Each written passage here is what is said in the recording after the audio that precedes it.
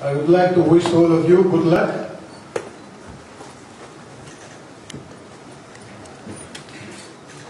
Please start your clocks.